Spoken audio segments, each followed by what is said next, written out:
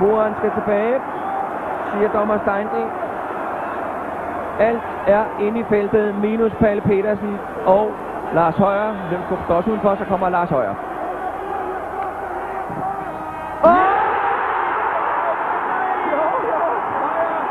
Det er helt utroligt med den mand.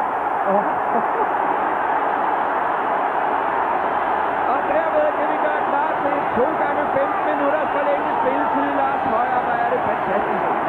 Det er helt utroligt med den mand. der kunne han være bare skulle. Og samtidig med jubelbillederne, som vi ser her, og en gentagelse af Lars Højers kanonspark. Det er helt fantastisk. Der fløjter dommer Steindl af for den ordinære spilletid.